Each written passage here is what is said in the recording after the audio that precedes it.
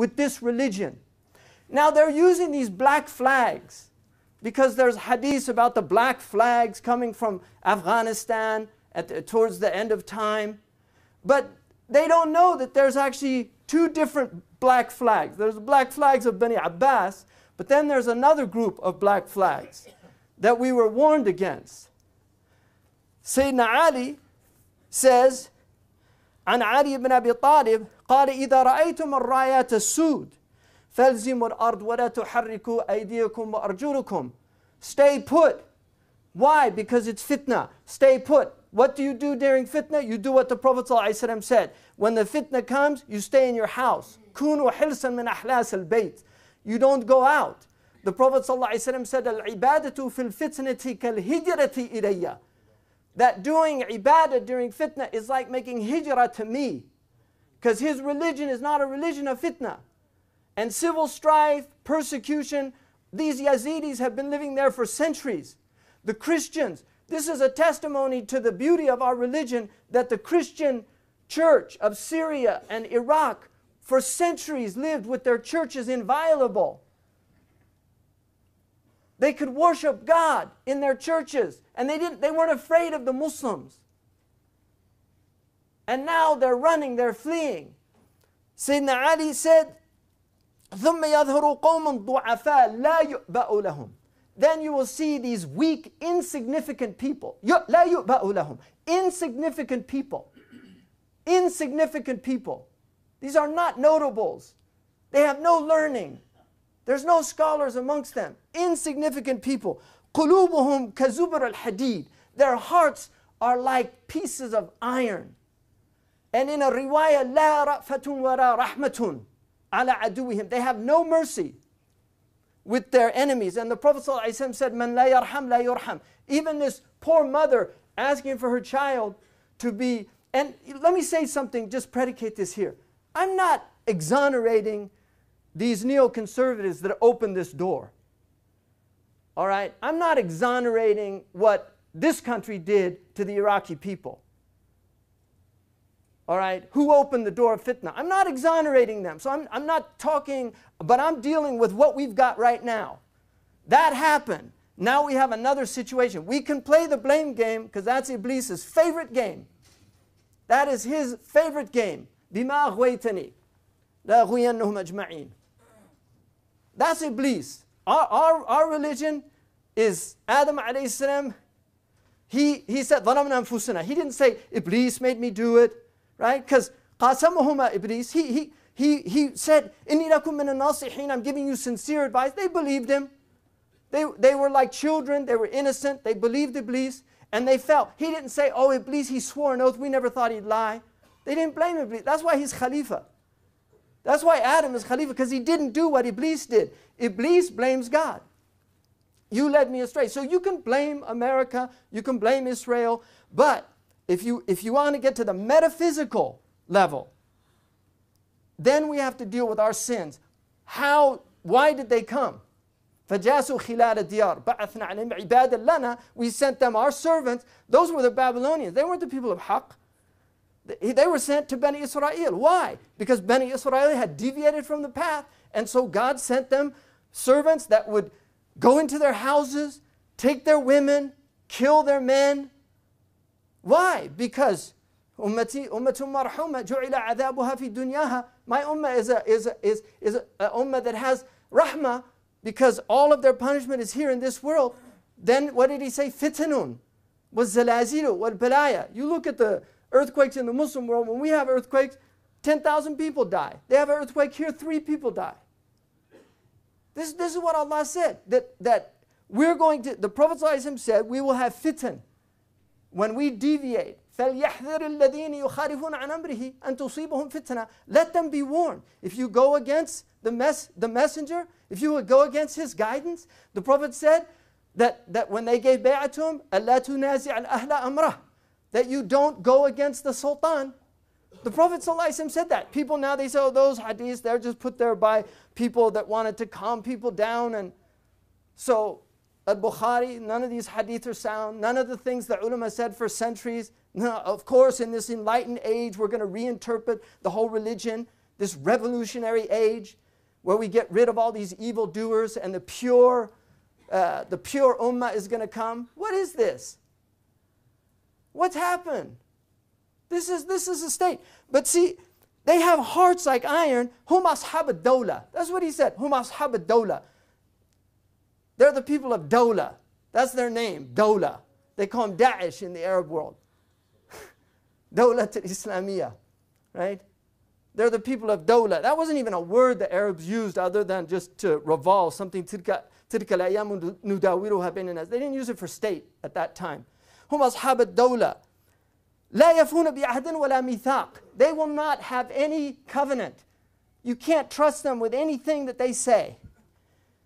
يدعون إلى الحق وليسوا من أهله. They call to the truth, but they're not from the people of the truth. Why? Because in the hadith, the Prophet ﷺ, when Hudayfa, people were asking about evil, Sahih Bukhari, Hudayfa ibn al-Yaman, the people were asking about good, he wanted to ask about shar, out of fear that he might see it. He said, Ya Rasulullah, كنا في جاهلية وشر فجانا الله بهذا خير. We were in jahiliyyah and shar, and then God brought this, this good to us. Is there any bad after this good? He said, Na'am. And then he said, Is there any good after that bad? He said, Na'am وفيه دخن. Yes, but it, it's going to be cloudy. It won't have the same purity. And he said, Ma, ma دخنه ya Rasulullah. What, what's the cloudiness? He said, قوم يهدون بغير هدي تعرف منهم وتنكروا. People will guide with other than my guidance. You will know some things and you'll reject other things. And then he said, Is there evil after that good? He said, Na'am. دعاة على أبواب النار من أجابهم قذفوا فيه the, those who they're, they're callers on the doors of the hell if you answer them if you respond to their call you will be flung into the hell Hudayfa said, Sifhum lana ya Rasulullah. Describe them for us so we'll know them. Hum min jildatina. They're Arabs. They're like us. Min jildatina. They look like us. Yatakallamuna bi alsinatina. They'll, they'll quote the Quran. They'll quote the Hadith. This, this is how the Prophet ﷺ described him, them.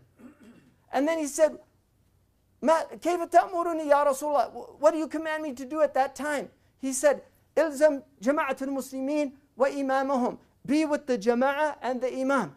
وإن لم يكن لهم جماعة ولا إمام. What if there's no jama'ah and no imam?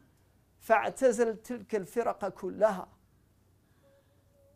ولو أن تعض بأصل شجرة حتى يدركك الموت وأنت على ذلك صحيح حديث He said avoid all those sects even if you have to cling to the root of a tree with your teeth until death comes to you and you're on that He didn't say آه لابد أن تقيم الخلافة هذا فرض كفاية He didn't say you have to establish the khilafah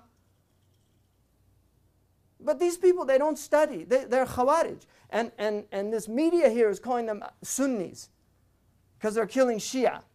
They're not Sunnis. These aren't Sunnis. They're not Ahl Sunnah wal Jama'ah. These are Ahl Iblis.